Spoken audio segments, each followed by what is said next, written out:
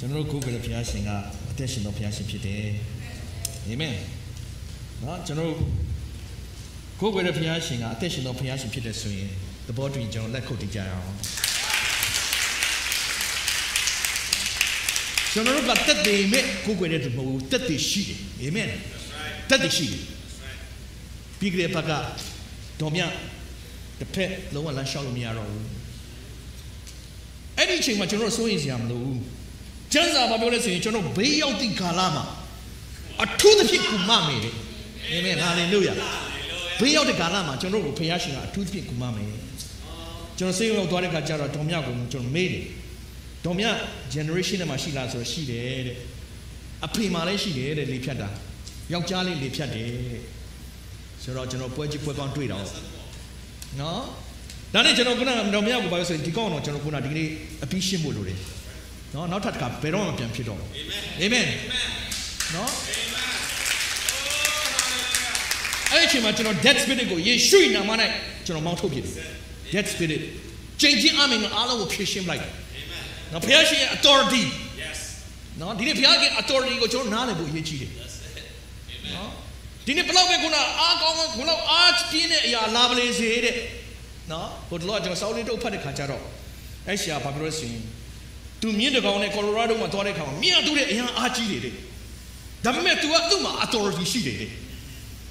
နော်မြင့်ဘလောက်အားကြီးပေမဲ့သူ့ရဲ့ authority နဲ့ထိတ်ချုပ်ထားတဲ့ခါမှာမြင့်ကဘယ်မှသွားလို့မရဘူးလို့အာမင်နော်ဒီနေ့လေခုန18 week ကသူမောင်းလာတဲ့အချိန်ကအရန်အားကြီးပါတယ်တိုးတော်လဲခုနရင်ထင်းရဲကခုနတစ်ချက်ပဲလက်လက်လက်ထောင်ပြလိုက်ရင် That's right. သူဘာမှ force တော့မထိုးရဘူးအဲ့ရင်ထင်းအဲ့ကအဲ့ညမှာတုံနေရက်က အဲ့ဒါက authority ဘုရားရှင်ပေးထားတဲ့ authority ဖြစ်တယ်နော်ဒီနေ့ကျွန်တော်တို့ခုနဘုရားရှင်ကကျွန်တော်တို့ကိုနော် the deed လက်လို့ကျွန်တော်တို့ကိုကြည်နေတဲ့ဘုရားမဟုတ်ဘူးသူကတခုနတယောက်တည်းတောင်ပေါ်မှာဆူတောင်းနေတဲ့ချိန်မှာတပည့်တော်တွေကခုနလှိုင်းပင်လေကိုခုနအိုင်ထဲမှာခုနဝိသေကြောင်မှဖြစ်နေတယ်ကိုတော်မြင်တယ်ကိုတော်မြင်တယ်နော်အမမြင်မြင်ဝင်ခုနသူကသူတယောက်တည်းဖြစ်ပေမဲ့ကိုတော်မြင်တယ်ကိုတော်မြင်တယ်နော်ဒီနေ့ကျွန်တော်တို့ အသက်တာမှာကိုတော်ကကျွန်တော်နဲ့အမြဲတမ်းတူရှိတယ်ဘုရားရှင်ကကျွန်တော်တို့ကိုဖန်ဆင်းထားတာကဟေရှာမှာဗာပြောလဲဆိုရင်ဟေရှာနာဂတိကျမ်းခိုင်း73နှစ်စနစ်မှာလူသည်တဲ့ရွှေစင်ထက်အဖိုးထိုက်မိအကြောင်း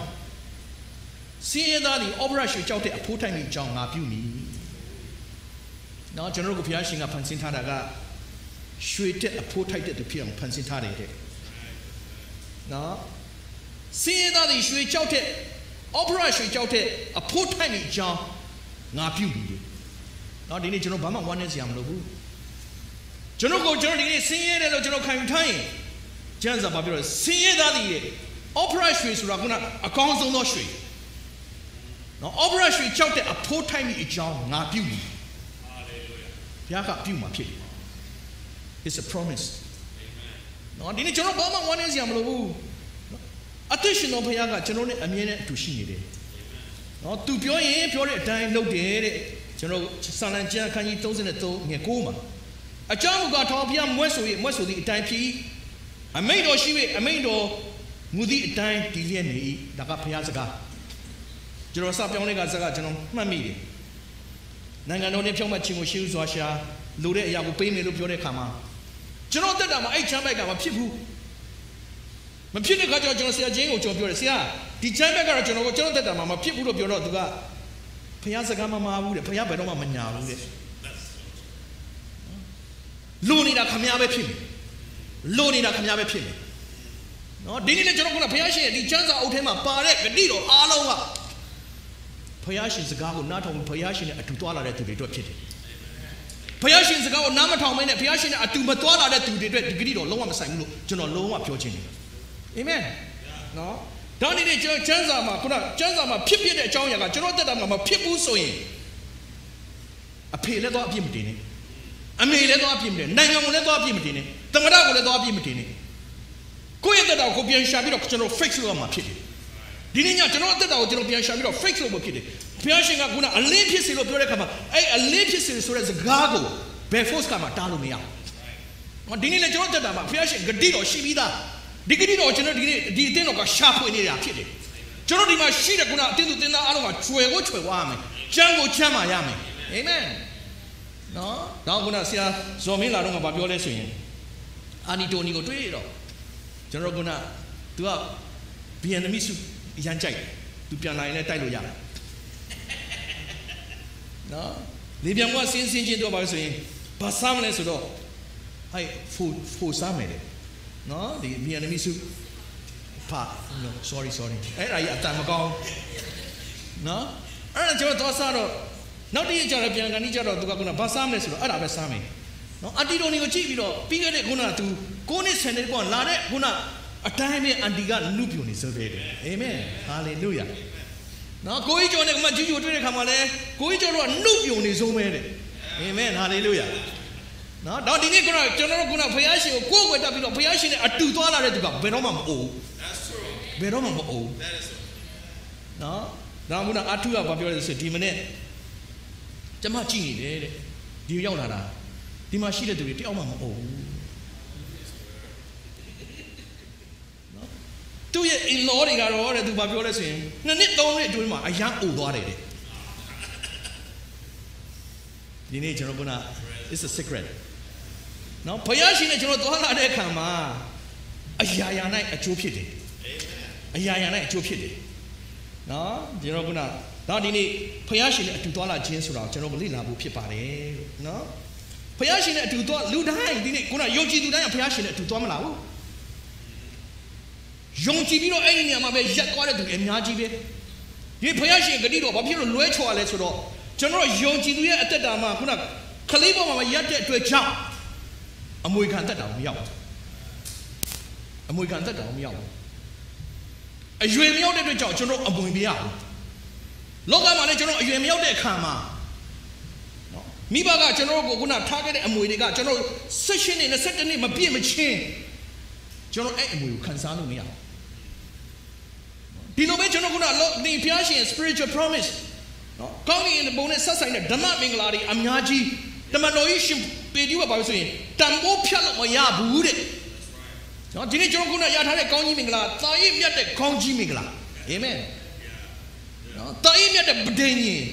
တာရည်မြတ်တဲ့ဂျေဇုတော်ကိုကျွန်တော်တို့ရပြီးတော့ဆင်းရဲနေတာကတော့တဘာဝမကြဘူးပြောချင်တယ်နော်နော်ခုနဆရာအဟုံသူ့ရဲ့တရားချက်လေးကိုကျွန်တော်နားထောင်တဲ့ခါကျတော့ဣသရေလမှာလည်းတဲ့ခုနဒီနွားမျိုးစားပဲသူတို့ခုနနှုတ်စားနွားမကိုမွေးတယ် အမေရိကမှာလည်းဒီနှုတ်စားနွားမပဲမွေးတယ်တဲ့နှုတ်ကျင့်တဲ့ခါမှာဣသရေလမှာရှိတဲ့ခုနနှုတ်စားနွားမကနှုတ်ရပို့ထွက်တယ်ဖျားရှင်ဂတိတော်နဲ့သူတို့ဆိုင်နေနော်ဒါပေမဲ့ကျွန်တော်တွေကဒီနေ့ယုံကြည်သူတွေကတာရွေ့မြတ်တဲ့ဗဒိန်ကြီးကိုရထားတဲ့သူတွေဖြစ်တယ်ကျွန်တော်တို့ငါကပို့ပြီးတော့နှုတ်ပေးရမှာဖြစ်တယ်အာမင်နော်ဟုတ်လား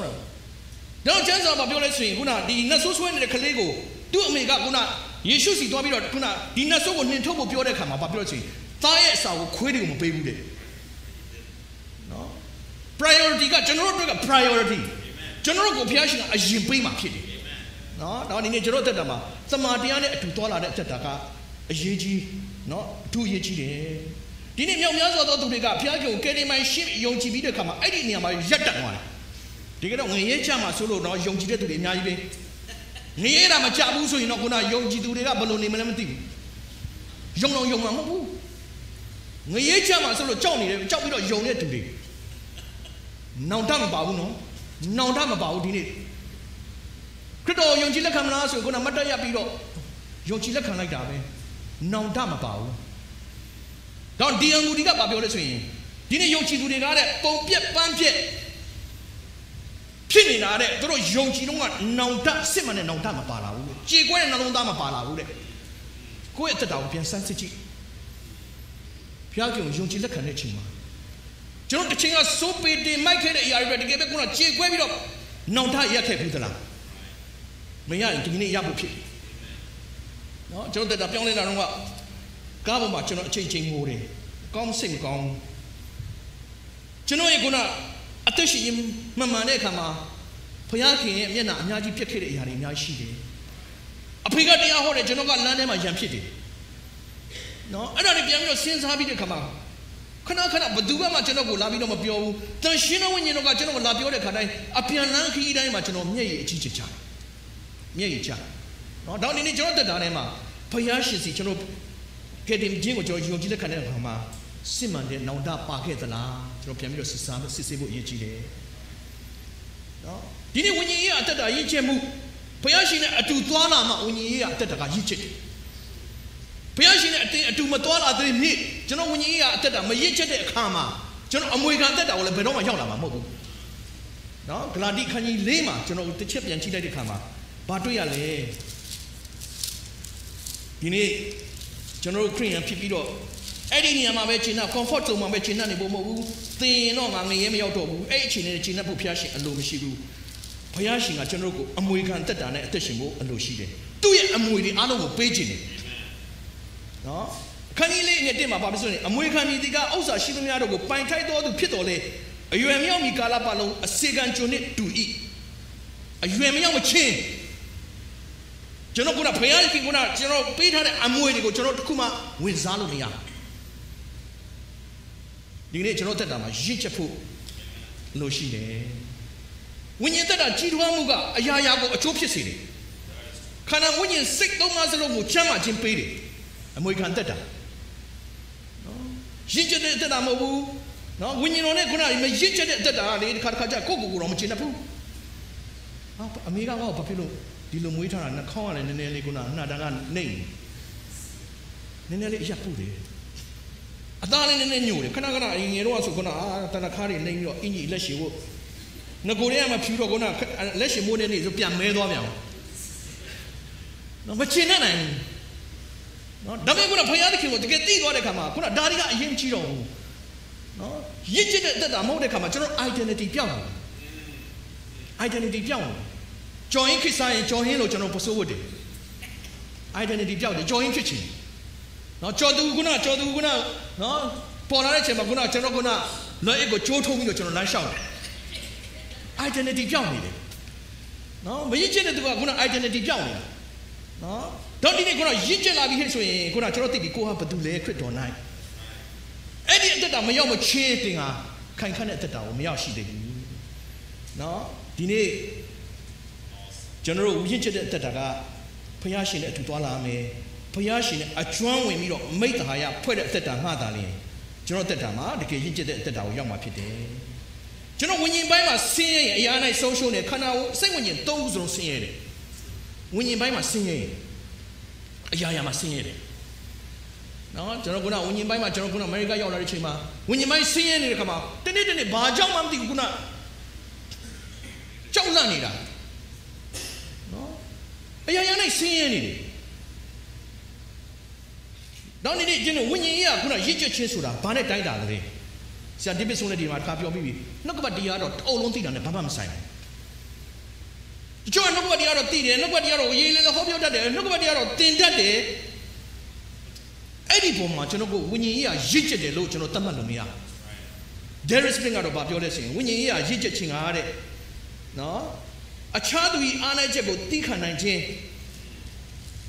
အဲ့ဒါကဝိညာဉ်ရေးရာရင့်ကျက်ခြင်းရဲ့အမှတ်သားဖြစ်တယ်နော်တမန်တရားနဲ့ကျွန်တော်အသက်ရှင်နိုင်ခြင်းအဲ့ဒါကဝိညာဉ်ရေးရာရင့်ကျက်ခြင်းဖြစ်တယ်တမန်တရားကတော့ပဲတည်တည်နော်ကျွန်တော်ကတော့သူတစ်ပါးအကြောင်းပြောတယ်သူတော့မချင်တတ်ဘူးဘုံနဲ့တိုင်းနဲ့တော့စိတ်တိုတယ်ပောက်ကွဲတယ်အဲ့ဒါတွေအားလုံးကကျွန်တော်ရင့်ကျက်ခြင်းမဟုတ်ဘူးနော်ဒီနေ့ကစစ်မှန်တဲ့ရင့်ကျက်ခြင်းကတမန်တရားပေါ်မှာအသက်ရှင်နိုင်ခြင်းပဲဖြစ်တယ်ဆိုတော့ကျွန်တော်နားလည်ဖို့အရေးကြီးပါတယ် နောက်အနေနဲ့ဝိညာဉ်ရေးရင့်ကျက်တဲ့သူတယောက်ဖြစ်ပြီဆိုရင်သူတစ်ပါးဖြစ်တဲ့ရှုံချခြင်းပေါ်မှာအယောင်မပြောင်းလဲဘူးနော်မရင့်ကျက်တဲ့သူဆိုတော့ပြီးတော့ပြောရင်ခုနနောက်တစ်နေ့ဆို तू ကကိုယ့်ကိုစကားပြောချင်မှပြောတော့မှာမပြောတော့ဘူးကိုယ့်ကိုအရင်လိုဆက်ဆံချင်မှဆက်ဆံတော့မှာနော်ဒီနေ့ဝိညာဉ်ရေးရင့်ကျက်တဲ့သူကသူတစ်ပါးဖြစ်တဲ့ရှုံချခြင်းပေါ်မှာအားငယ်ခြင်းလည်းမရှိဘူးနာကျင်ခြင်းလည်းမရှိဘူးဝမ်းနည်းခြင်းလည်းမရှိဘူးစိတ်ပြည့်ခြင်းလည်းမရှိဘူး ဒေါသလည်းမထွက်ဘူးအညှိုးလေးတော့မထားဘူးနော်ပြန်ပြီးတော့လက်လက်စားလက်ခုနလက်စားချစ်တုံ့ပြန်မှုလည်းမရှိဘူးနော်သူတစ်ပါးအခက်ခဲနဲ့တွေ့တဲ့အခါမှာဝိညာဉ်ရေးကရင့်ကျက်တဲ့သူကချက်ချင်းမစီရင်ဘူးမရင့်ကျက်တဲ့သူကဖြစ်မှာပေါ့ဒါကြောင့်မို့နော်လဲနေတဲ့သူကတော့သူကထူဖို့မစင်စားဘူးလဲနေတဲ့သူကိုထပ်ပြီးတော့ဖိဖို့စဉ်းစားတာတခါတည်းအဲ့နေရာမှာခုနလုံးဝပြန်မထနိုင်အောင်အပြစ်တွေအများကြီးဖို့ပလိုက်တာနော် ဒီဝင်းကြီးကရင့်ချက်တဲ့သူကဒီလိုမဟုတ်ဘူးတမန်တော်ကြီးရှင်ပေါ်လို့ထောင်ထဲမှာသူကအော်နေတိန်နဲ့သွားတွေ့တဲ့အခါမှာအော်တိန်နဲ့သွားတွေ့တဲ့အခါမှာအော်နေတိန်ကခုနဖိလိမုန်ရဲ့အိမ်မှာကျွန်းဖိလိမုန်ရဲ့အိမ်မှာခုနတခုခုတစ်စုံတစ်ခုကိုခိုးတဲ့အတွက်ကြောင့်သူထောင်ထောင်ချပြီးတော့ထောင်ထဲမှာတမန်တော်ကြီးရှင်ပေါ်လို့နဲ့လာတွေ့တဲ့အချိန်တွေ့တဲ့အချိန်မှာခုနအော်နေတိန်ကပြောင်းလဲသွားပြီပြောင်းလဲသွားတဲ့ခါမှာခုနတမန်တော်ကြီးရှင်ပေါ်လို့က နော်ဒီအော်နေတိန်နဲ့ပတ်သက်ပြီးတော့ဗာပြောလဲဆိုရင်ဖိလိမုန်ကိုပြန်ပြီးလက်ခံဖို့ဂျာခါတောင်းပန်တယ်သူအပြစ်မတင်ဘူးနော်အော်နေတိန်ကတကယ်ပဲအတုံးရသွားတဲ့သူဖြစ်ပြီးဒီချိန်မှာအတုံးရသွားတဲ့သူဖြစ်တဲ့အတွက်ကြောင့်သူဗာပြောလဲဆိုရင်ဖိလိမုန်ကအော်ရစာခန်းကြီး1အခန်းကြီးတစ်ခုပဲရှိပါတယ်နော်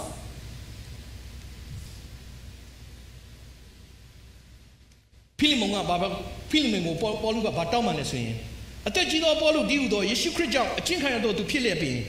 မေတ္တာအားဖြင့်တင့်ကိုငါတောင်းပန်၏တောင်းပန်ပါ၏ချီနှောင်ခြင်းကိုခံရစဉ်တွင်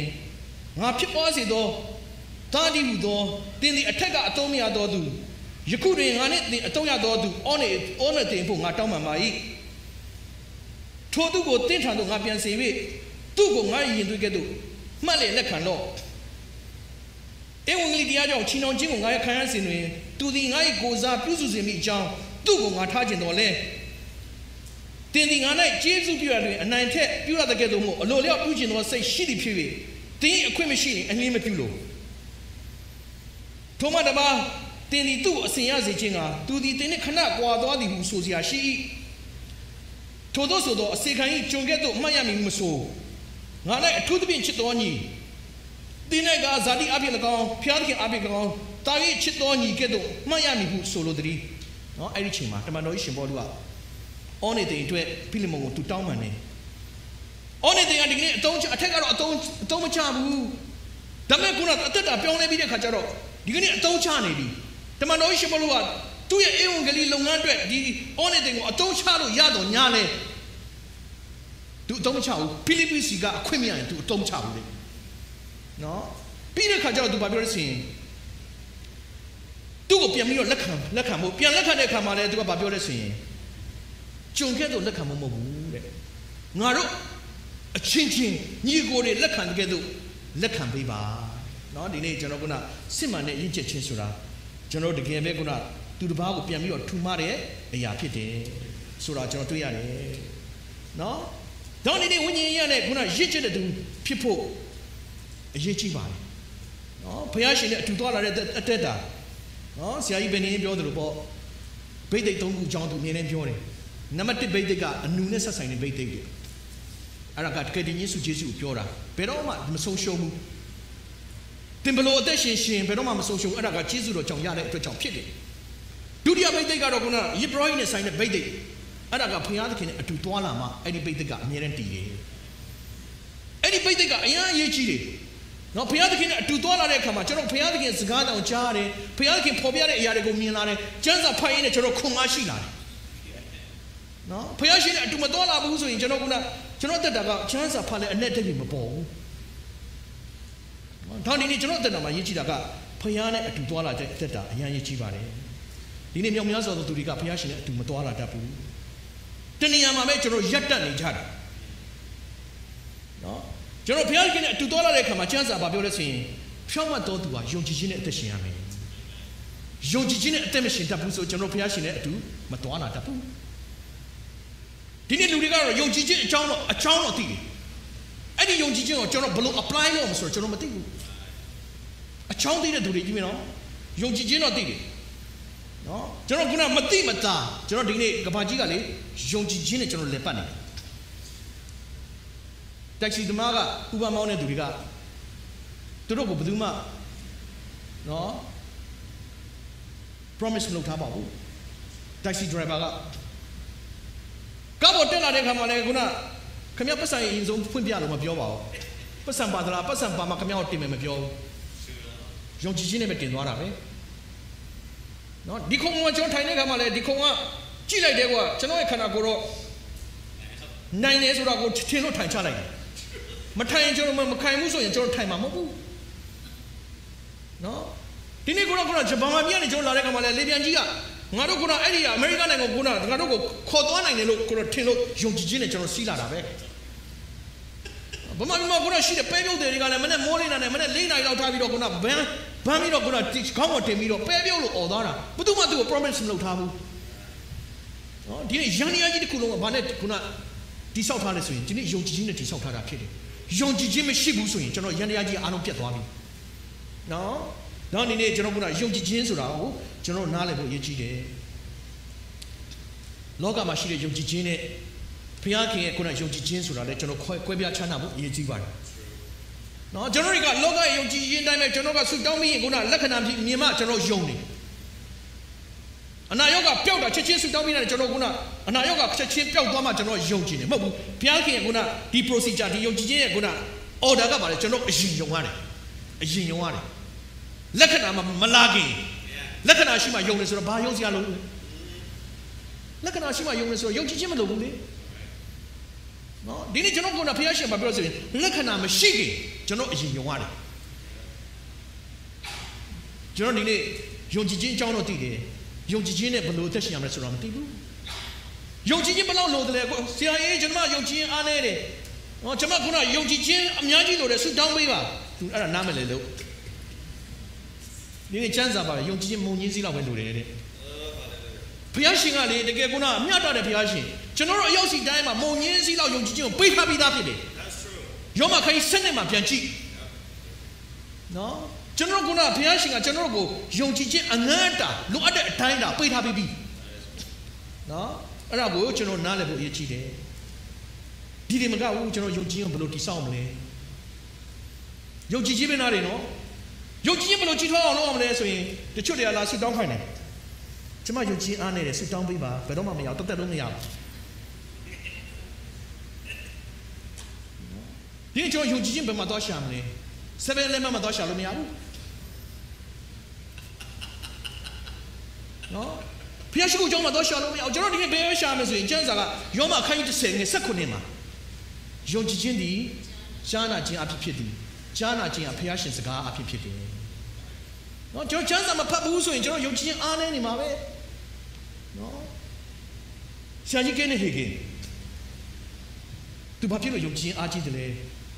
believer authority ကိုရေးတဲ့အချိန်မှာကျမ်းစာကိုအချိန်256ချိန်ဖတ်ပြီးပြီ 256 6ချိန်ဖတ်ပြီးပြီသူကခုနအဖြတ်သားယုံကြည်တယ်သူလိုနေတဲ့အရာကိုသူခုနဒီနေ့ဘုရားရှင်ကျွန်တော်ရဲ့ခုန ministry မှာဒီလောက်ဒီလောက်လိုနေတယ်ဘာလို့သူသွားပြီးတော့ပေးရမလဲညနေ၄နာရီထိုးပြီးမလာသေးဘူးဒါပေမဲ့သူစိတ်မဖြစ်ဘူးအင်ကြီးကိုအင်ကြီးကိုပြီးစောင့်တယ်အရှိမလည်းခုန fact test ကလည်းရောက်တဲ့ရောက်ကိုချက်ချင်းပဲတူတောက်ပါပြောလို့ရှိရင်ထီနီထီသွားပြီလေငါဗန်သွားတော့မယ် နော်သူတို့အပြတ်ယုံတယ်ဒီနေ့လေကျွန်တော်ခုနတကယ်ယုံတတ်တဲ့ယုံကြည်ခြင်းနဲ့အသက်ရှင်တတ်ဖို့အရေးကြီးတယ်နော်ကျွန်တော်ဘာကိုယုံကြည်ရမလဲကျွန်တော် feeling ပေါ်ဖြစ်နေတဲ့အရာတွေကိုယုံဖို့မဟုတ်ဘူးဖခင်ရှင်ရဲ့ဂတိစကားပေါ်မှာကျွန်တော်ယုံကြည်ရမယ်ဖခင်ရှင်ဂတိမပေးတဲ့အရာတွေကျွန်တော်သွားပြီးတော့ယုံကြည်ခြင်းတော့ claim လို့မရဘူးဖခင်ရှင်အလိုရှိပြီးတော့ကျွန်တော်တို့ပေးထားတဲ့အရာတွေဘာလဲဆိုတော့ကျွန်တော်သိဖို့အတွက်နှုတ်ကပတ်တရားတော်ရှာဖွေဖို့တော့လိုတယ်နော်ပြီးတဲ့ခါကျတော့ကျွန်တော်ဘယ်လိုရက်တည်ရမလဲ ယုံကြည်နေကျွန်တော်ရက်တည်တဲ့အခါမှာတစ်ခါကျရင်ကျွန်တော်ကတပတ်လောက်ပဲကျွန်တော်ရက်တည်တာတပတ်လောက်မဖြစ်လာတော့ဘူးဆိုရင်ကျွန်တော်တွေကစုမတောင်းတော့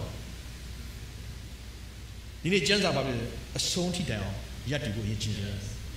မဖြစ်မချင်းကျွန်တော်ကအဆုံးထိတိုင်အောင်ကျွန်တော်ရက်တည်ပြီးတော့အသက်ရှင်တတ်ဖို့အရေးကြီးတယ်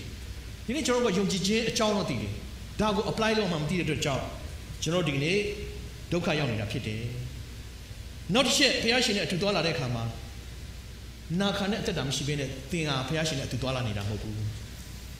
နော်ဘုရားရှင်နဲ့သင်အသွားလာတယ်လို့ဘယ်တော့ပဲပြောပြောသင်ရဲ့အသက်တာနာခံခြင်းနဲ့မှမရှိဘူးဆိုရင်သင်ဘုရားရှင်နဲ့ဆန့်ကျင်ဘက်အသက်ရှင်နေတာဖြစ်တယ်နော်ဒီနေ့ကျမ်းစာတော်မှာပြောလို့ဆိုရင်နာခံခြင်းမရှိတဲ့အသက်တာကနတ်ဆိုးနဲ့ပေါင်းခြင်းနဲ့တူတယ်နတ်ဆိုးနဲ့ပေါင်းခြင်းနဲ့တူတယ်တဲ့နော်ဒါကျွန်တော်ကိုစီ first Samuel မှာကြည့်ရင်နော်တွေ့နိုင်ပါတယ်နော်နာခံခြင်းမရှိဘဲနဲ့ကျွန်တော်အသက်ရှင်တဲ့အခါမှာဝမ်းနေခြင်းနဲ့ပဲအမြင်နဲ့အဆုံးတတ်တယ် နောက်ဒီနေ့ကျွန်တော်တို့ခုနတက်တာမှာနာခံတတ်တဲ့နှလုံးသားကအရန်ရည်ကြီးပါတယ်နော်နာခံခြင်းရှိလာမို့လဲကျွန်တော်တက်တာမှာနော်ဖယားရှင်ရဲ့အလိုတော်ကိုဝန်ခံပြီးအသက်ရှင်တတ်တဲ့အသက်တာလိုအပ်တယ်နော်ကျွန်တော်နာခံခြင်းနဲ့အသက်ရှင်တတ်မှဖယားရှင်နဲ့အတူသွားလာခြင်းဖြစ်တယ်နာခံခြင်းအကြောင်းမသိလို့မရဘူးနော်ဒီနေ့သူများတွေအနာခံခြင်းအကြောင်းသိရုပ်ချင်းသိသိတာပေါ့မွေးကလေးသိတာ နော်နာခံခြင်းအကြောင်းဒီနေ့ကျွန်တော်ကဒီကျွန်တော် church မှာတရားဟောဆရာတွေအများကြီးပဲတကယ်ပဲနာခံပြီးတော့အသက်ရှင်မိုးပြန်နေပြီမိုးပြန်နေပြီဟုတ်တယ်မိုးပြန်နေပြီတောင်းကယာကုပ်ကခုနအမလို့အမရဖြစ်ပြီးတော့သူရေးတာဘာပြောလဲဆိုရင်နော်ရှင်ယာကုပ်ဩရစာခန်းကြီး1မှာအငယ်20နှစ်မှာ ကိုကိုကိုလက်ပြရင်နှုတ်ကပတ်တရားတော်ကိုနာကုံနာယုံမြတာပြုတော်သူမဟုတ်တရားကိုကျင့်တော်သူဖြစ်ကြတော့နော်ဒီနေ့ကျွန်တော်ကကျွန်တော်အသက်တာထဲမှာဘာဖြစ်လို့ဂတိတော်ဝင်စားလဲဆိုတော့ကြားတော့ကြားတယ်မလုပ်ဘူးကြားတော့ကြားတယ်မလုပ်ဘူးနော်ဒီဘုရားရှင်ကခုနနာခံကြီးကိုဘယ်လောက်ထိလိုအပ်ချင်လဲဆိုရင် immediate obedience immediate obedience ချက်ချင်းကြားရင်ကျွန်တော်ထလို့ချက်ချင်းကြားရင်ထလို့နော်ကျွန်တော်တက်တာမှာအဲ့ဒါမျိုးခုန obedient လိုပါတယ်နော် နောက်ချက်ကျွန်တော်ခုနပြန်ကြည့်လိုက်တဲ့ခါကျတော့ဘုရားရှင်နဲ့အတူသွားလာတဲ့တက်တာကချီးမွမ်းခြင်းနဲ့အသက်ရှင်ရတယ်ချီးမွမ်းခြင်းလို့ပြောတဲ့ခါကျတော့လူတိုင်းကတော့ချီးမွမ်းခြင်းကိုနားလေတာသိတာပေါ့ဒါပေမဲ့တကယ်တကယ်အလေးနဲ့ချီးမွမ်းကိုယ်ွယ်ခြင်းကိုနားမလဲဘူးတချို့ကတချင်းဆိုတာနဲ့ချီးမွမ်းတာတော့မသိဘူး။ဟောဒီနေ့ကျွန်တော်တချင်းဆိုမယ်။နော်ကျွန်တော်ကဒီဒီနေ့ကမေးရကျွန်တော်သူလှမ်းပြီးတော့ပြောဆရာကျွန်တော်ဒီနေ့တချင်းတပုတ်ဆိုချင်တယ်။တချင်းဆိုမယ်ဆိုပေးမဆိုဘူးလို့။ အဲ့နဲ့ဘာဖြစ်လို့ပေးမဆိုတာလဲဆရာတဲ့။သူကကျွန်တော်ကဖုန်းထဲမှာမင်းကချီးမွမ်းတာမဟုတ်တချင်းဆိုတာလို့နားလဲအောင်ပြောပြပေးရတယ်။နော်တောင်းဒီနေ့ကျွန်တော်ဒီမှာခုနဒီနေရာမှာလာတဲ့အခါမှာကိုယ်ကိုယ်တဖို့အရေးကြီးတယ်နော်ခါကရင်ကျွန်တော်ကချီးမွမ်းတယ်ဆိုတာကတချို့ကခုနလူများမှာတချင်းဆိုချင်တာလေ ဆရာဒေးဗစ်ဆွန်နာတော့သူဘာပြောလဲစီကချီးမွမ်းတာဆိုတာဒီနေ့ကိုယ်ကိုယ်ရဆိုတာကျွန်တော်လူများလူများတာနဲတာပုံမှာမူမတည်ဘူးလူများပုံမှာလူများတဲ့ခါမှာကျွန်တော်ကိုယ်ကိုယ်တန်းရင်အဲ့ဒါကိုယ်ကိုယ်တာမဟုတ်ဘုရားကိုယ်ကိုယ်တာမဟုတ်ဘူးမင်းလူကိုလာပြီးကိုယ်ကိုယ်နေတာဖြစ်တယ်နော်တောင်းဒီနေ့ကျွန်တော်ချီးမွမ်းတဲ့အခါမှာပြိဿရှိရှိမရှိရှိကျွန်တော်အတူရှိနေတဲ့ဘုရားခင်ကိုကျွန်တော်ချီးမွမ်းခြင်းဖြစ်တယ်အာမင်နော်တောင်းဒီနေ့ကျွန်တော်ခုနတချို့ကချီးဝါချီးမွမ်းနေတာခုန ခန္ဓာပဲဒီနေရာမှာရှိနေတယ်စိတ်ကတခြားနေရာမှာရောက်နေနော်တော့ခုနချီးမွမ်းတဲ့အခါမှာတဲ့ဒီမှာဆရာဒေးဗစ်ဆွန်နာတော့သူတင်မိတာကိုယ့်ရဲ့အတန်ကောင်းတာကိုသူများကိုဖော်ပြဖို့မဟုတ်ဘူးတီးတဲ့သူကလည်းကိုယ့်ရဲ့ talent ကိုသူများမြင်ဖို့မဟုတ်ဘူးဆွဲဆောင်ဖို့မဟုတ်ဘူးကိုယ့်ရဲ့ motive ကအဲ့ဒီလူကိုကပြိတ္တကိုဆွဲဆောင်ဖို့ဖြစ်သွားတာနဲ့တန်ရှင်းသောဝိညာဉ်တော်ကအလုံးမလုံးတော့ဘူးလေအဲ့ဒါကိုကျွန်တော်နားလည်ဖို့အရေးကြီးတယ်နော်တချင်းဆိုလိုက်တာနဲ့ခုနတချင်းဆိုလိုက်ပြီး ကျွန်တော်ကျမတလောက်အတန်ကောင်းနေဆိုတော့ပြိတ္တခံစားသွားရအောင်လို့ပြောရင်ဒီဆိုတဲ့တချင်းကလေထဲမှာရောက်သွားပြီဝိညာဉ်တော်ကအလုံးမလုံးတော့ဘူးအဲ့ဒါကိုကျွန်တော်ပြက်ပြက်သားသားနားလည်ဖို့အရေးကြီးတယ်နော်နောက်ဆရာဇော်မင်းကကျွန်တော်နဲ့ခုနလာပြီးတော့မေးတယ်ဒီမှာချီးမွမ်းတဲ့သူတွေ personal သူတို့ devotion ယူရလားသူတို့ group ဖွဲ့ပြီးတော့သူတို့ခုနတကယ်ညပိုင်းဆုတောင်းရလားကျမ်းစာလေ့လာရလားတဲ့သူချက်ရှင်မှာသူအဲ့ဒါမကုနာ နော်သူတို့ကိုစာပေးပြီးတော့သူအမှတ်ပေးတယ်နော်တခါမှလည်းဆုမတောင်းဘူးခုန personal personal devotion လည်းမရှိဘူးချီးမွမ်းတဲ့သူဆိုရင်လည်းငါခုနသူတို့0ပဲပေးလိုက်တယ်လူရှိမှတော့အဲ့ဒါကအလုပ်ဖြစ်တယ်ဒါပေမဲ့လူတွေဒီမှာလာတဲ့လူတွေအသက်တာမထိတွေ့ဘူးဒီနေ့ကျွန်တော်တကယ်ပဲကျွန်တော်ထိတွေ့တဲ့အသက်တာကိုဘုရားရှင်ကလိုချင်တယ်အလဟတ်အပတ်တိုင်းလာပြီးတော့ကျွန်တော်ခုနဒီနေရာမှာ နော်တကုံးပါတဲ့ခုနချီးမွမ်းခြင်းတွေလာလုပ်နေအချိန်လာကကကုန်တယ်ဒီနေ့ကျွန်တော်အားလုံးပြန်ပြီးတော့ fix လုပ်ဖို့ဖြစ်တယ်အချိန်ကပြီးရတယ်ထားခဲ့တော့လာမယ့်ခုနအသက်တာမှာကျွန်တော်တကယ်ပဲခုနဒူးထောက်ဆက်ကပ်ပြီးတော့နော်ဒီနေရာမှာရောက်တာနဲ့ခုနဖះရှင်ရဲ့ခုနကိုကလက်တစ်ချက်မြောက်လိုက်တာနဲ့ဒီထဲမှာရှိတဲ့သူတိုင်းကခုနစသိမ်မွေးချင်းထတာဖို့ဖြစ်တယ်ဖះရှင်တကူတော့ကြာသွားဖို့ဖြစ်တယ်နော်တကယ်အဲ့ဒီအသက်တာနဲ့ကျွန်တော်ခုနချီးမွမ်းမှုအရေးကြီးပါတယ် နော်ဒီနေ့ခုနတချို့ကမချီးမွမ်းတတ်တဲ့ခါကျတော့ဖះเจ้าကခုနသူတို့ချီးမွမ်းခြင်းကိုမနားမလဲတော့ဖះเจ้าကိုချီးမွမ်းခြင်းပြီးမှလာတဲ့သူတွေအများကြီးပဲနော် King Jesus Ministry ကဆရာကြီးကတော့ပြောလဲဆိုရင်တချို့ဆရာဆရာတရားဆရာတွေကတရားဟောတဲ့အချိန်မှဝင်လာတဲ့သူတွေရှိတယ်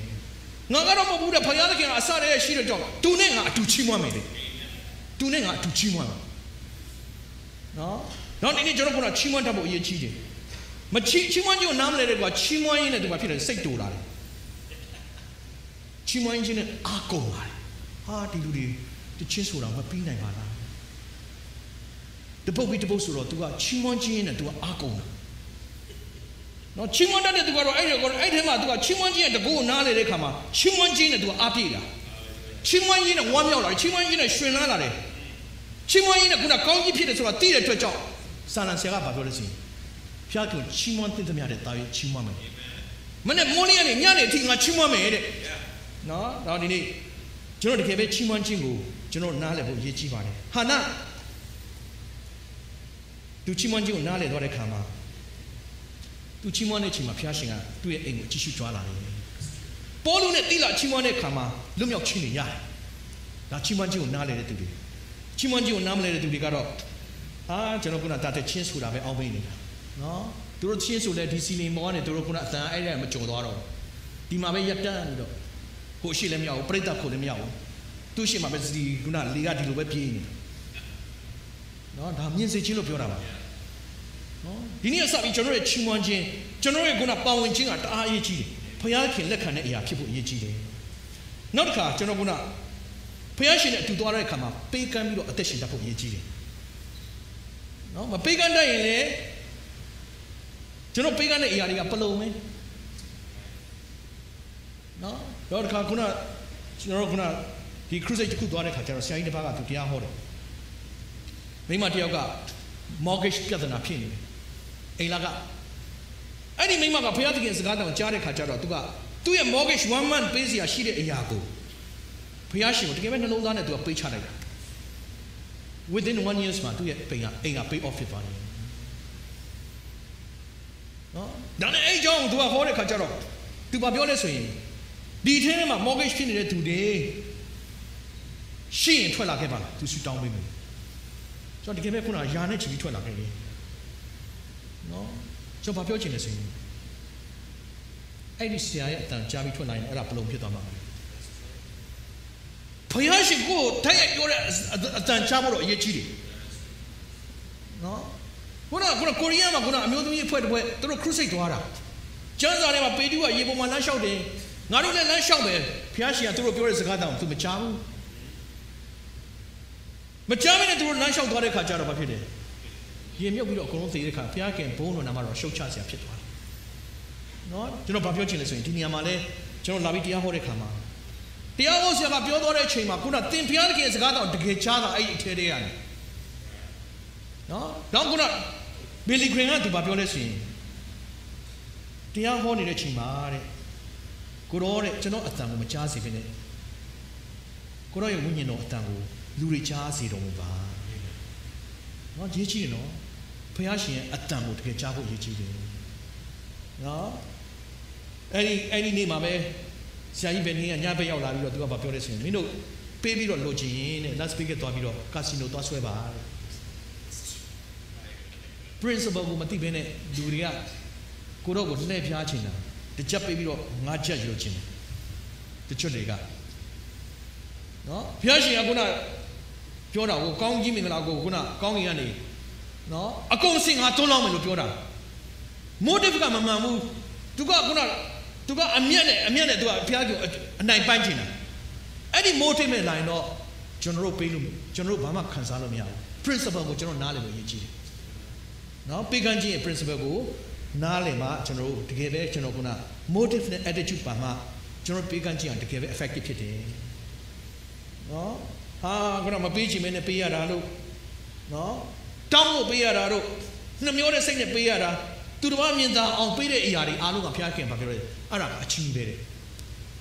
လက်ရလက်ပေးတဲ့အမှုကိုလက်ဝဲဘက်မသိစေနဲ့နော်ဒီနေ့ကျွန်တော်ပေးတဲ့အရာကိုဘယ်သူမှမမြင်ပါစေနဲ့ နော်ပေးတဲ့ခါမှာလဲကျွန်တော်ခုနငွေချစ်တက်တက်ပဲမဟုတ်ဘူးနော်ဘုရားရှင်ကျွန်တော်ပေးထားတဲ့အစွမ်းတတ်တဲ့အချိန်နာကြီးအားလုံးကိုပေးဖို့ဖြစ်တယ်ပေးတဲ့ခါမှာလဲအကောင်းဆုံးကိုပေးဖို့ဖြစ်တယ်ခါကျကျွန်တော်ပေးတဲ့ခါမှာကျွန်တော်တို့မွေးချင်တဲ့အင်ဂျီတွေမှာကျွန်တော်ပေးတာလေ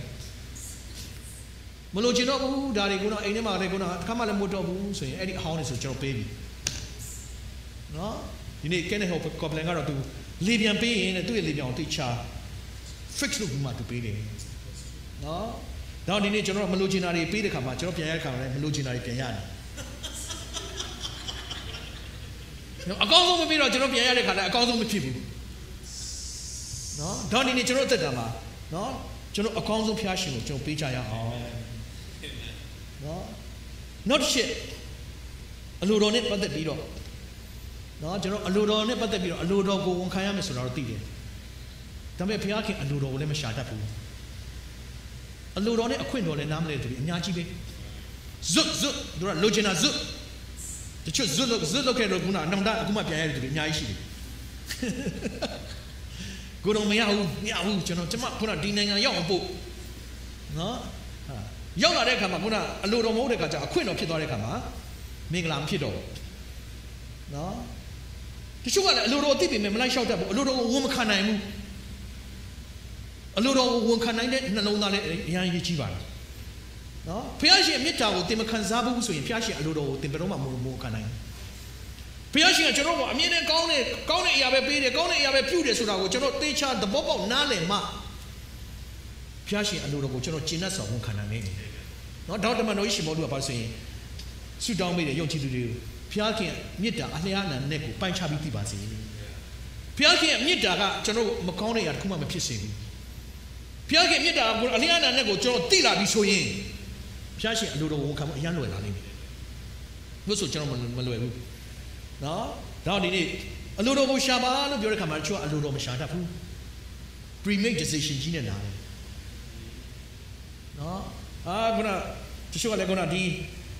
အိမ်အောင်ဘက်ကိုကျွန်တော်စဉ်းစားတဲ့ခါကျတော့ကိုကလာမှာကအလိုတော်ရှာတဲ့ခါမှာကျွန်တော်ရဲ့ခုနစိတ်နှလုံးကိုဘယ်မှာထားမလဲဆိုရင် neutral မှာထားမှာ နော်ကိုဖြစ်ဒီတော်များများကဗလာတဲ့ခါမှာအလိုတော်ရှာတဲ့ခါမှာကိုဖြစ်ချင်တဲ့ခုန decision နဲ့အရင်ဆုံးလာရှာကိုဖြစ်ချင်တာဒါနော်တော့ဒီနေ့ကျွန်တော်အလိုတော်မရှာတတ်ဘူး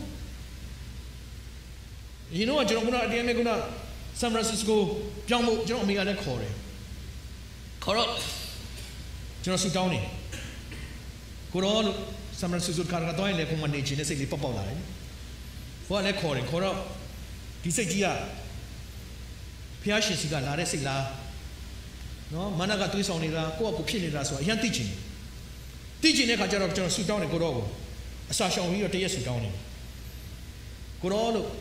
ကိုတော်ကကျွန်တော်ကိုဆန်ဖရန်စစ္စကိုတွားစီခြင်းနဲ့ဆိုရင်အဲ့ဒီစိတ်ဆန္ဒကြီးဆက်ပြီးတော့ဖြစ်ပွားစေပါနော်တကယ်တော့ကိုတော်ကဆန်ဖရန်စစ္စကိုကျွန်တော်ကို ပြောင်းအလိုမရှိဘူးဆိုရင်အဲ့ဒီစိတ်ဆန္ဒကြီးကိုကျွန်တော်နှလုံးသားထဲကနေအရေးဖြော်လိုက်ပါကျွန်တော်အဲ့လိုပဲဆူတောင်းတယ်တကယ်လည်းသိချင်တယ်ဆူတောင်းလဲဆူတောင်းလဲပြီးတော့အဲ့ဒီ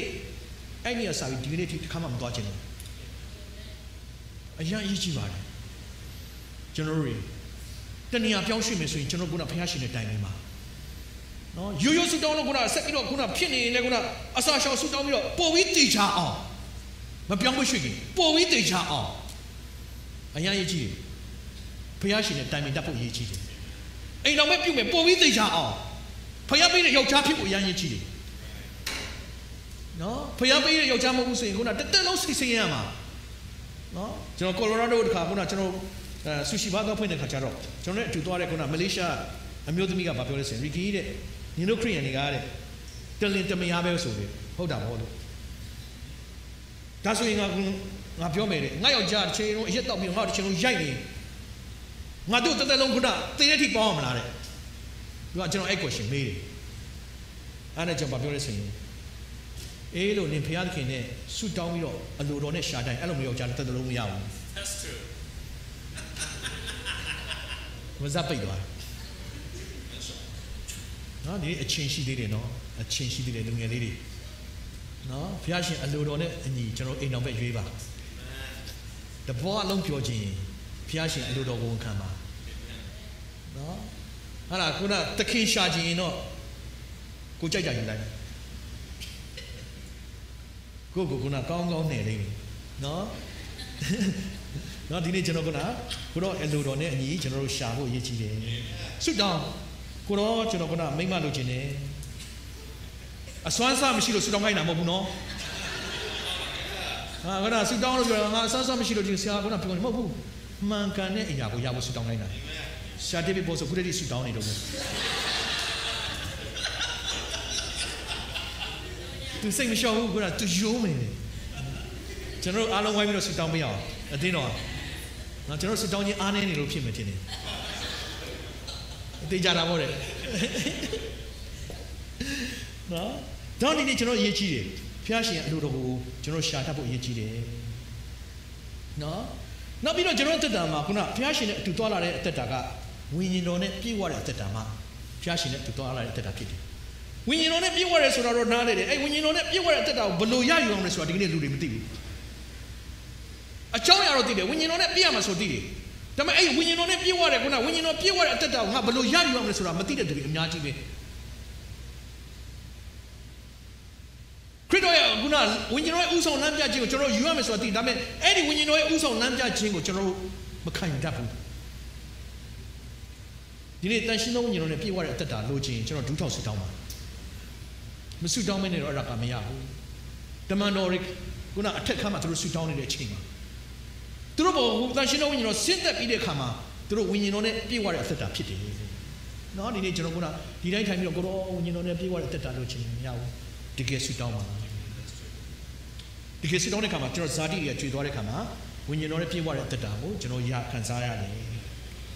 နော်တပိတော်တွေအထက်ခန်းမှာဆူတောင်းတဲ့အခါမှာဘုရားရှင်ရဲ့ဝိညာဉ်တော်နဲ့ပြည့်ဝတဲ့သက်တာကိုသူတို့ရတယ်နောက်တစ်ချက်ကျွန်တော်ဘုရားရှင်ဗိသိက်တကူကိုလိုချင်တယ်ဒါပေမဲ့ဗိသိက်တကူဘယ်လိုရမလဲဆိုတော့မသိတဲ့သူအများကြီးပဲနော်ဘုရားရှင်ဗိသိက်တကူကဘယ်ဘဝမူတည်တယ်ဘယ်ဘဝတိုးပွားတယ်ဆိုရင်နာခံမှုတဲ့အသက်ရှင်တဲ့ပုံမှာဗိသိက်တိုးပွားတယ် နာမခံမင်းနဲ့ခုနကျွန်တော်လှုပ်ချင်အောင်လှုပ်တဲ့အသက်တာဘုရားခင်ဗိသိက်ဘယ်တော့မှမတိုးပါဘူးနော်တစ္ဆာနဲ့အသက်ရှင်တဲ့သူရဲ့အသက်တာပုံမှာဘုရားခင်ဗိသိက်တိုးပွားတယ်ဘုရားခင်အလိုတော်ကိုဝန်ခံပြီးအသက်ရှင်တဲ့သူရဲ့အပေါ်မှာဘုရားခင်ဗိသိက်တိုးပွားတယ်ချီးမွမ်းခြင်းနဲ့ခုနကိုးကွယ်ပြီးတော့အသက်ရှင်တဲ့သူရဲ့အသက်တာမှာဘုရားခင်ဗိသိက်တိုးပွားတယ်ဆံငါချင်းနဲ့ခုနအသက်ရှင်တဲ့သူရဲ့အသက်တာမှာဘုရားခင်ဗိသိက်တိုးပွားတယ်နော်ဒီနေ့ကျွန်တော်ဆံငါချင်းလည်းမရှိဘူးဗိသိက်တိုးပွားခြင်းနဲ့တစ္ဆာလည်းမရှိဘူးဘုရားခင်ဗိသိက်တိုးပွားခြင်းနဲ့ နော်နာခံမှုလည်းမရှိဘူးကျွန်တော်ဘုရားခင်ဗိသိက်တိုးပွားခြင်းကျွန်တော်အဲ့ဒီဗိသိက်ကဘယ်တော့မှတိုးပွားမှာမဟုတ်ဘူးနော်နောက်တစ်ချက်ကျွန်တော်ကဘုရားရှင်နဲ့တူသွားလာတဲ့ခါမှာဆူတောင်းခြင်းနဲ့အသက်ရှင်တဲ့အသက်တာမရှိမဖြစ်လိုအပ်တယ်နော်ဒါပေမဲ့ကျွန်တော်ဒီနေ့တော်တော်များများကလေကျွန်တော်ဆူတော်ဆူတောင်းတယ်ဘယ်လိုဆူတောင်းကြလဲဆိုရင်ရှာကြီးကနေဟေကင်ပြောဆိုတော့ Farmer John prayer Farmer John ဆိုတာသူကသူ့ရဲ့မိသားစုအတွက်ပဲသူဆူတောင်းတယ် သားသမီးအတွက်ဆူတောင်းတယ်မိသားစုအတွက်စီးပွားရေးအတွက်ဆိုတော့ကျမကြီးအတွက်ဆိုပြီးအိမ်မယ်အာမယ်ဒါပဲနော်မိသားစုအတွက်ပဲဆူတောင်းတယ်ဟောဒီနေ့ကျွန်တော်တို့ခြားကပြီးတော့ဆူတောင်းတတ်ဖို့အရေးကြီးတယ်တိုင်းနိုင်ငံမှာရှိတဲ့ခုနတိုင်းပြည်အစိုးရတွေသတိရပြီးဆူတောင်းဖို့အရေးကြီးတယ်ကျွန်တော်ခုနတိုင်းပြည်မှာတွေ့ကြုံနေတဲ့အခြေအနေတွေကျွန်တော်ဆူတောင်းဖို့အရေးကြီးတယ်နော်ဒီနေ့ကျွန်တော်တက်တာမှာဒီနေ့ဆူတောင်းမယ်ဆိုတော့ဒီဒါပေမဲ့ခုနဖျားခင်နေတဲ့အချိန်မပေးကြဘူးနောက်ဒီနေ့ကျွန်တော်ဆူတောင်းခြင်းအကြောင်း သိုံနဲ့မရဘူးတကယ်ဒူးထောက်ဆူတောင်းတဲ့အသက်တာလည်းတကယ်လိုပါလေ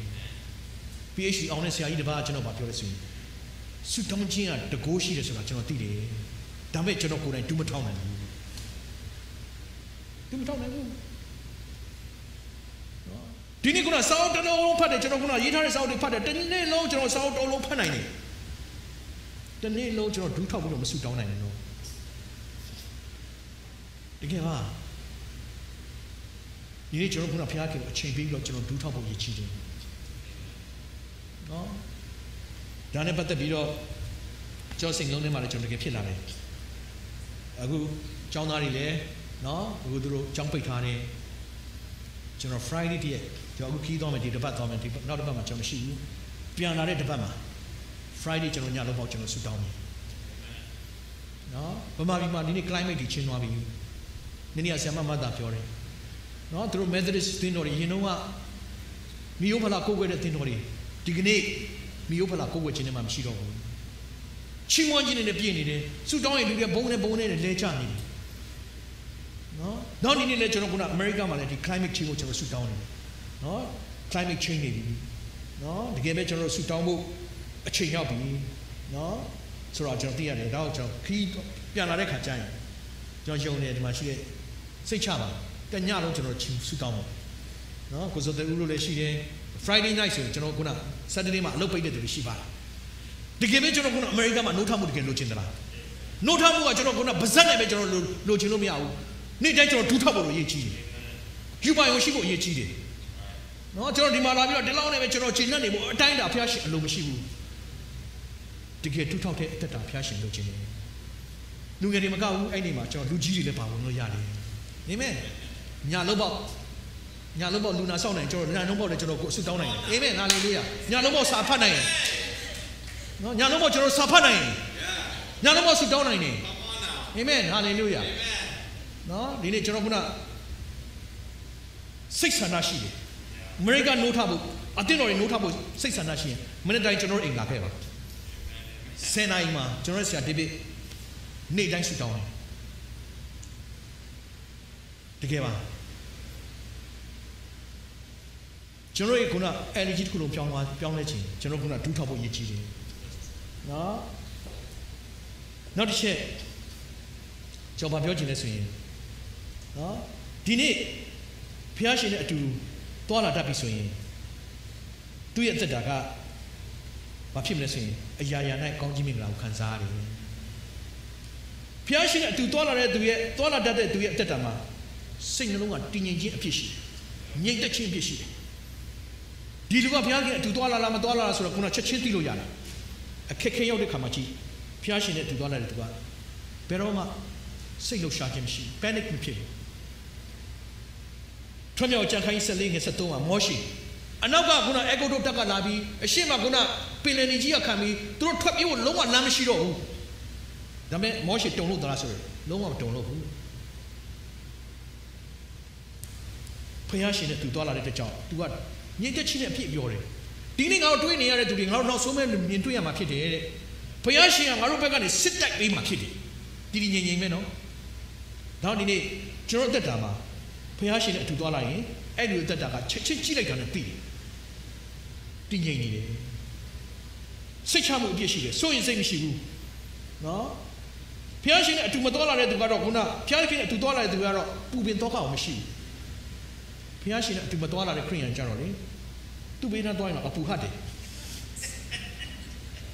အပူဟတ်တယ်နော်တချို့လေဆိုရင်ခုနအပူဟတ်တာသူအပူကကိုယ်စီကူးလာတယ်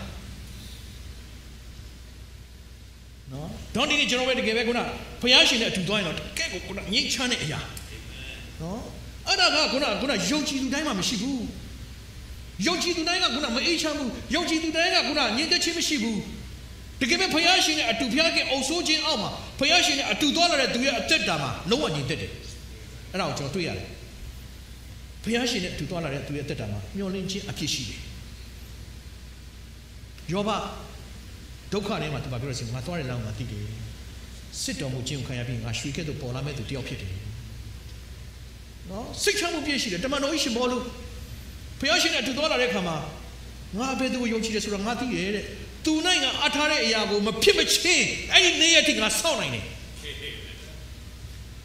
ပြီးခဲ့တဲ့တနေ့နေ့ကကျွန်တော်တို့ကအဲ့ဒီအဲ့ဒီအတိုင်းတာကျွန်တော်မှမရှိဘူး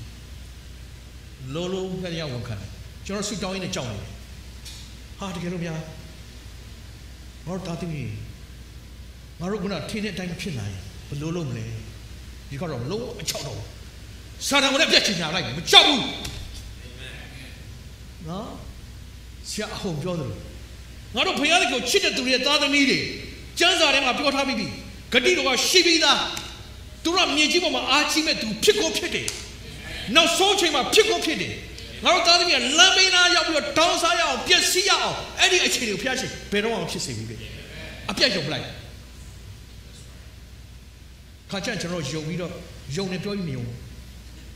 တကယ်တကယ်ခုနယုံကြည်ခြင်းအင်အားဖြစ်လာတဲ့ခါမှာဒီနေ့လုံးဝအခြေအနေမကြည့်တော့ဘူး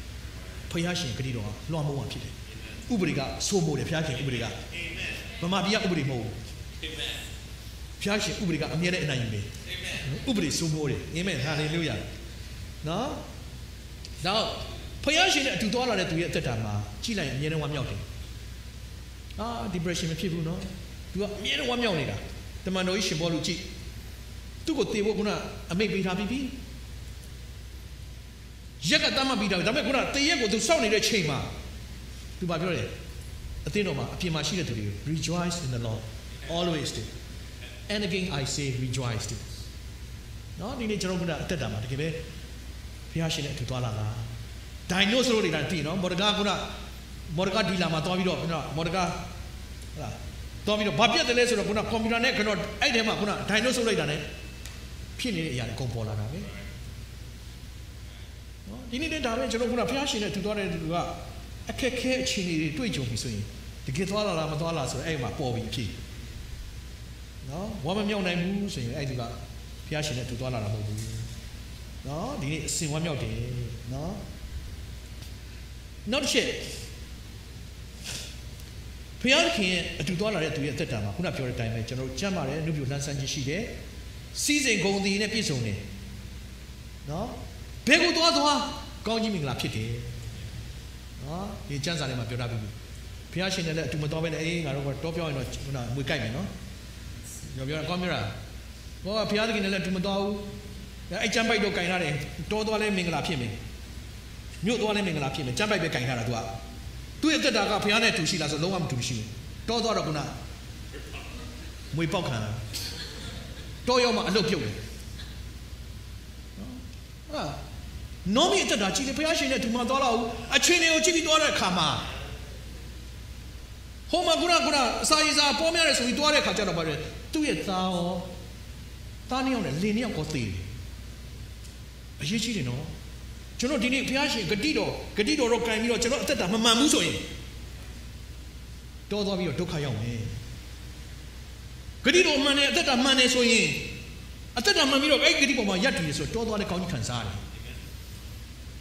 နော်ဒီနေ့ကျွန်တော်ခုနဂတိတော်ရှိပြီးသားဘယ်နေရာနေနေကောင်းကြီးဖြစ်မယ်လို့ပြောထားပြီးသား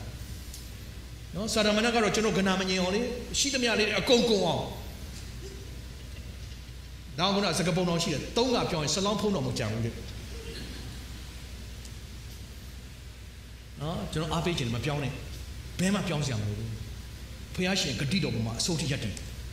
ဖះရှင်ကောင်းကြီးမိုးရွာလာမယ်ကိုယ့်ရဲ့အသက်တာမှန်မှုတော့အရေးကြီးတယ်နော်ဖះရှင်နဲ့အတူသွားလာတဲ့အသက်တာဖြစ်ဖို့တော့အရေးကြီးတယ်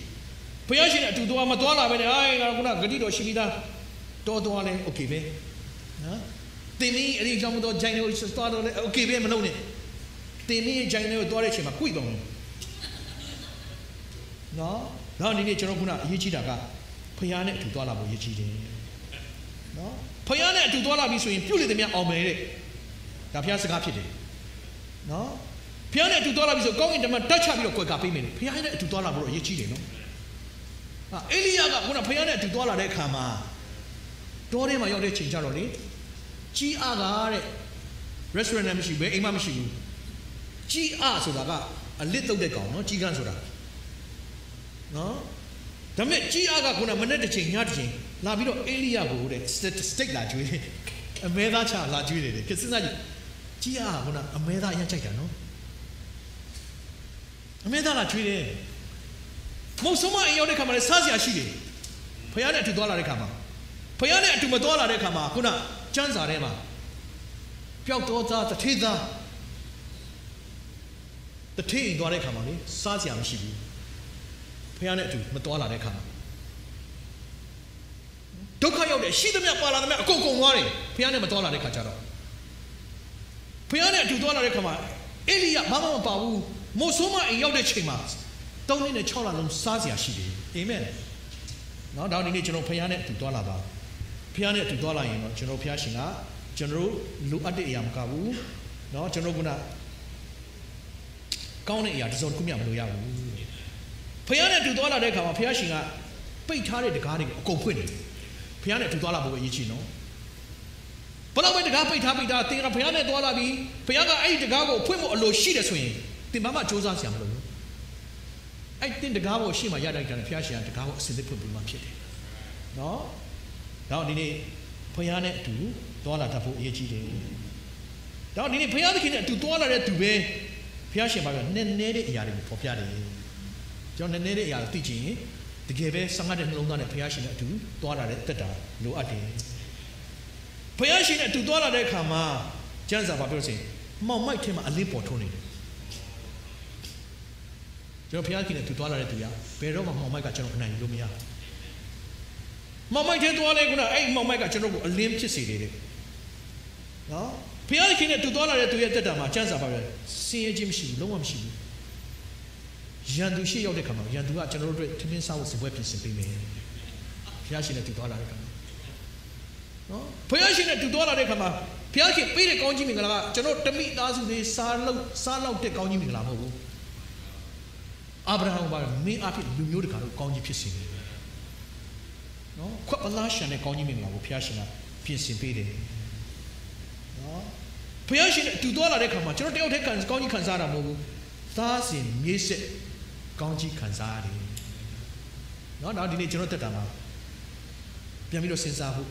ငါတကယ်ဖခင်နဲ့တူသွားလာနေသလား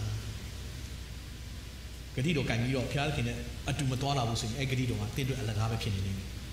ဒီချမ်းပိုက်ထဲမှာကျမ်းစာထဲမှာရှိတဲ့ဂတိတော်တွေအားလုံးကသူနဲ့အတူသွားလာတဲ့သူသူ့ရဲ့စကားနားထောင်တဲ့သူတွေအတွက်ဖြစ်တယ်ကျမ်းစာထဲမှာဘုရားငါရဲ့စကားနားမထောင်တဲ့ကောင်းကြီးရမယ်ဆိုတဲ့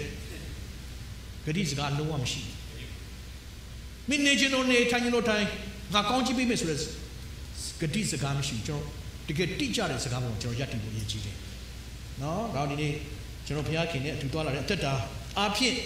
2015ဂျန်တဲ့အချိန်ကဒီနေ့ကစပြီးတော့ဂျန်တဲ့အချိန်ကာလကျွန်တော်သွားတဲ့နေရာတိုင်းမှာဘုရားရှင်ကလာနေဖွင့်ပေးနေမယ်သူအရှိကနေတော့မယ်ကောင်းကင်တမတက်ချပေးမယ်ရန်သူရှိရောက်တဲ့ကမှာစပွဲခင်းပြီးမယ်တောသွားလဲတောမှာငပိမစားရဘူးနေမယ်စတိတ်စားတယ်တောထဲမှာဟုတ်တယ်မလား အေလီကတောထဲသွားတဲ့ကမှာခုနတိဥသွားတူစားတာမဟုတ်ဘူးငပိစားတာမဟုတ်ဘူးနော်ဒီနေ့တောထဲမှာလည်းအေလီကစတိတ်စားတယ်နော်ဒါဒီနေ့ကျွန်တော်တက်တာမှာနော်အမေရိကန်မှာရောက်ပြီးတော့စတိတ်မစားနိုင်တဲ့သူတွေအများကြီးပဲနော်ကျွန်တော်လည်းဆရာတေးပြီးခဏခဏစားတယ်နော်ကျွန်တော် six stick စားခြင်းကဆရာတေးပြီးနေတာပေါ့ နော်ဒီနေ့ဖျားရှင်ကကျွန်တော်ကိုအမေရိကန်ပို့ထားတာအကောင်းဆုံးသောအရာနဲ့ပေးခြင်းတယ်အာမင်နော်ရင့်ကျက်တဲ့အသက်တာရောက်ဖို့ရည်ကြည်တယ်ရင့်မချင်းရင့်မချက်ချင်းကျွန်တော်အမွေခံအသက်တာမရောက်ဘူးအမွေခံအသက်တာရောက်မှကျွန်တော်ကအမွေခံရတယ်နော်ဒါကခုနပီချူချူလေးနဲ့ပဲခုနအဲ့နာမချင်နဲ့နေနေအာကလေးလေးကလေးလေးပဲခုနပဲဝิญဉ်ရဲ့မှာတစ်ခါမှမရင့်ချက်ဘူးနော်ကျန်းစာလည်းခုနဟိုတော့သူများတက်တည်ခံတာလို့တော်သေးတယ်ခုနကင်းခုနက iPhone နဲ့ iPad တွေပေါ်လာတော့ ကျန်းစာမလန်တတ်ဘူးလေဒါလေးကြည့်လိုက်တော့ okay လေဟာနော်ဒီနေ့ခုနကျန်းစာလည်းမသိဘူးဟာဓမ္မသစ်မှာခုနကျန်းစာဘယ်နှဆောင်ရှိလဲဓမ္မဟောင်းကျန်းစာဘယ်နှဆောင်ရှိလဲမသိဘူးအခုမေးလိုက်ရင်ကောင်းမှထင်တယ်နော်မယူမမမမမေးပါဘူး နည်းနည်းလေးတုံသွားအောင်လေနော်သူသိတယ်နော်ဒါဒီနေ့ကျွန်တော်အရေးကြီးတာကဘာလဲဆိုရင်ဖခင်နဲ့အကျွမ်းဝင်ဖို့အရေးကြီးပါတယ်ဖခင်နဲ့အကျွမ်းဝင်တယ်လည်းပြောကျမ်းစာလည်းဘယ်နာပါလားယုံကြည်ခြင်းကျမ်းပိုက်လည်းဘယ်နာရှိမှမသိဘူးခွင့်လို့ချင်းကျမ်းစာလည်းဘယ်နာရှိမှမသိဘူးနော်ခုနကခုနဟာဟာပကုတ်ဆိုရင်ဟာဒီကျမ်းစာထဲမှာရှိပါရဲ့လားအဲကျွန်တော်တခါထိသွားရလေမှတ်မိလားဘယ်ဆရာလဲမသိလားတော့ဆရာလားမြင်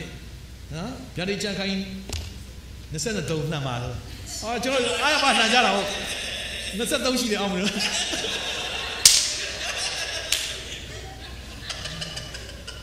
နော်ဒီနေ့ကျွန်တော်တမန်တော်ဝတ္ထုခိုင်း29 29နှံအောင်နော်ကျွန်တော်28တိပဲရှိတယ်နော်ဒါဒီနေ့ကျွန်တော်တကယ်ဖျားရှင်အကျွမ်းဝင်မှုပါဇက်နဲ့အကျွမ်းဝင်မှုနေ ပါဇက်နဲ့အကျွမ်းဝင်လို့ကတော့ဒီတိုင်းပဲလာလိုက်ပြန်သွားဒီတိုင်းပဲဘာမှဖြစ်တာကိုယ့်ဘဝဘာမှမတူပါဘူးတကယ်ပဲအကျွမ်းဝင်ကြအောင်နော်ဖျားရှင်တကယ်ပဲလိုက်ရှောက်ကြအောင်နော်ဖျားရှင်အရန်ပေးခြင်းနေပြီကောင်းကင်နိုင်ငံရောက်မှခုနဟလာဟာဝဲဟောက်တဲဝင်တော့ပြီးတော့ကိုယ်နာမည်နဲ့တွေ့ပြီဟာဘာဖြစ်လို့လဲအမွေတွေကကောင်းကင်နိုင်ငံမှာကျန်တယ်လောကမရောက်လာမင်းမှမရင်ချက်သေးတာအရွယ်မှမရောက်သေးတော့ငါမင်းပေးချင်တာပေးလို့မရဆိုတာဖြစ်လာနေတယ်နော်ဒီနေ့ ကျွန်တော်တက်တာအမွေခံတက်တာကိုတက်ကြရအောင်ခဏလေးကျွန်တော်အားလုံးထားပြီးဆူတောင်းတာဒီနေ့အစားစက်ကတ်ကြရအောင်နေ့တိုင်းကျွန်တော်ချက်စားဖတ်မယ်ဆူတောင်းမယ်ဘုရားရှင်နဲ့မွေ့လျော်မယ်ဘုရားကိုတကယ်အချိန်ပေးမယ်ဘုရားရှင်နှစ်သက်တဲ့အသက်တာထဲမှာကျွန်တော်တက်ရှင်ရအောင်နော်